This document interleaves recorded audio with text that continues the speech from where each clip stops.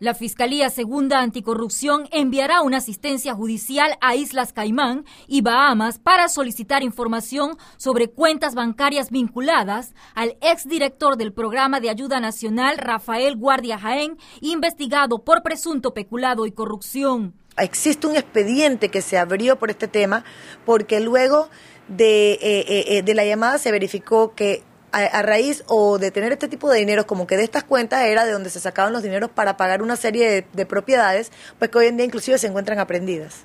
El pasado viernes se recibió la alerta sobre estas posibles cuentas bancarias por aproximadamente 5 millones de dólares en Isla Caimán y Bahamas, considerados paraísos fiscales, y se investigará si están a nombre de sociedades vinculadas con Rafael Guardia Juárez, hijo del exdirector del PAN, Rafael Guardia Jaén.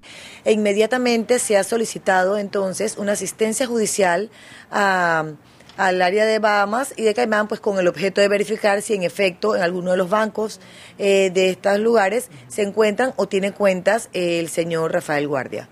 Pero ¿cómo avanzan estas investigaciones? Bueno, se está realizando todas las diligencias propias para determinar si estamos frente a un delito, pues, frente a un hecho donde estas personas tengan que ser llamadas a indagar. Definitivamente que se está recopilando todo el cúmulo de pruebas que nos pueda determinar si acreditamos un delito y la posible vinculación, porque en efecto, pues sí se ha mencionado mucho, pues el tema de los hijos eh, del señor guardia, pues que también estaban involucrados en una serie de sociedades. Nosotros estamos ahora verificando ese tema. En el caso de que esto se dé, entonces ellos también serían llamados a declarar. Es correcto. En ese evento sí también tendrían que, se, le tendría que formular cargos y tendrían que, eh, que pues rendir sus descargos con respecto a todas las pruebas que hay en su contra.